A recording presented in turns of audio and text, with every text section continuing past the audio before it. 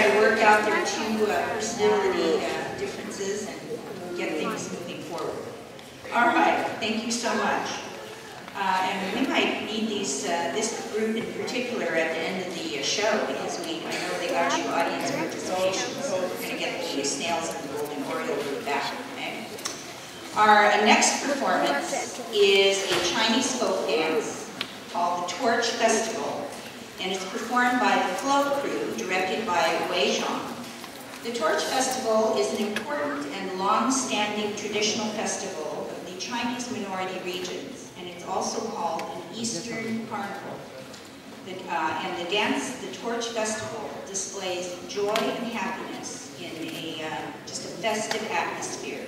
I hope you can feel it as we welcome the uh, Torch Festival dancers. All right?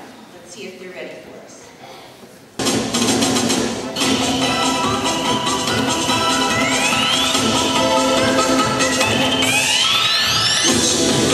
双眼点燃的机遇。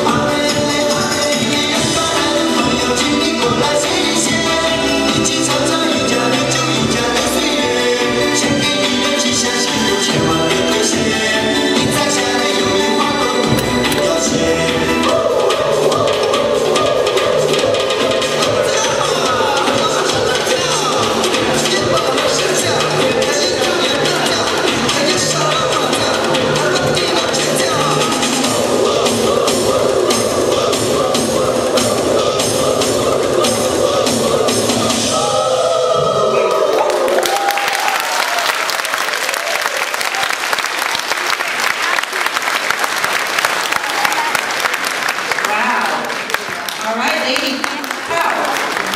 The torch dancers. Okay. Are you ready to hop up and down yourselves a little bit? All right. Our next performance is going to be done by the Red Maple Cultural Connection. They're going to do a dance called Dance at the Flame. This flame symbolizes the very hot weather of Xinjiang province in northwest China, and the, these people's understanding, and enthusiasm, and love towards life. I guess uh, we're going to be looking forward to some hot weather here in the Sacramento region soon. So here's a little preview. Let's welcome Dance of the Flame, performed by Red Maple Cultural Connection, directed by Amy Liu. All right.